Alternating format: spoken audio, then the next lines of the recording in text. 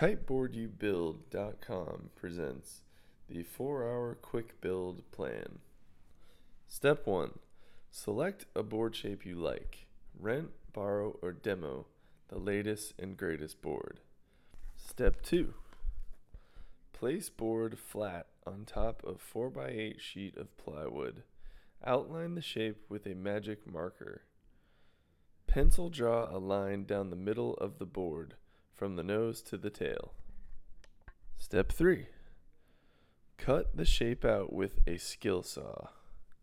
Step 4. All wood is warped.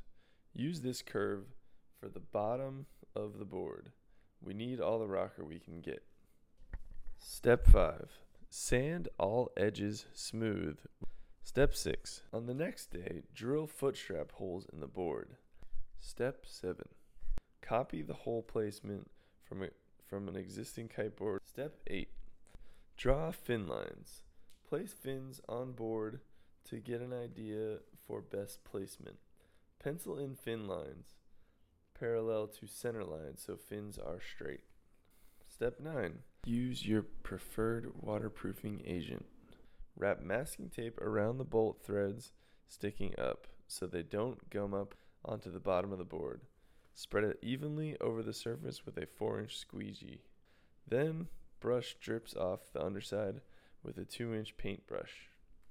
Let it dry for 2 hours, then repeat the process on the top side of the board. Step 10. Then pour, let it dry for 2 hours, then sand the big drips on the bottom. Step 11. Drill the fin holes. Step 12. Screw in fins. Attach foot straps and pads. Step 13 Go kite surfing. All right. Thank you very much for checking out the video, and I hope this was very helpful. If you have any more questions, please check out our website. It's KiteBoardYouBuild.com or just Google search kiteboard you build or build a kiteboard or however you would like to say that. Again, thanks for watching the video and have an awesome day. Let's ride.